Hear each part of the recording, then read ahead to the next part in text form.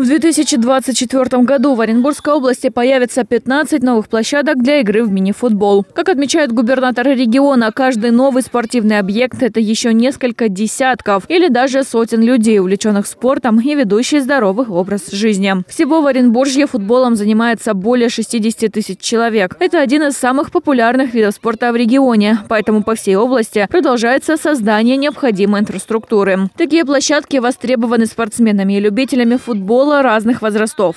Поля для мини-футбола создаем в Оренбурге с 2021 года во всех территориях. В этом году площадки появятся в Оренбурге, Орске, Бугуруслане, Куландыкском, Гайском и Яснинском городских округах, Акбулакском, Александровском, Грачевском, Курманаевском, Переволодском, Сакмарском, Матвеевском, Илекском и Шарлыкском районах.